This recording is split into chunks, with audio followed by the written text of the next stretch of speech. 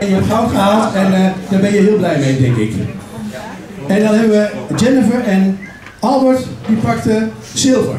We zijn natuurlijk eh, twee jaar lang in, eh, met alle teams die hier zijn, de Almeloze Sportploeg, met acht verenigingen hier in Almelo natuurlijk allemaal in training geweest.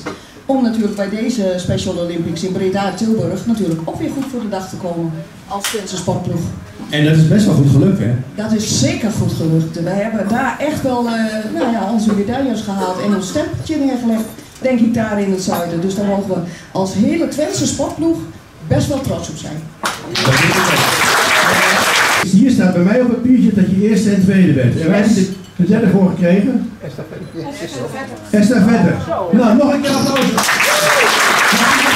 Hockeyclub. Jullie zijn naar huis gegaan met goud. Ja. Willen jullie even alle spelers gaan staan die goud hebben? Vierde bij de 100 meter en tweede bij de 200 meter. En bij het kogelstoten ben je derde. Applaus van de club. Waar zitten die? Hier. Eh, Mark, ben jij Mark? Jij werd eerste, Bert werd derde en Lars werd tweede. Ga staan voor de applaus.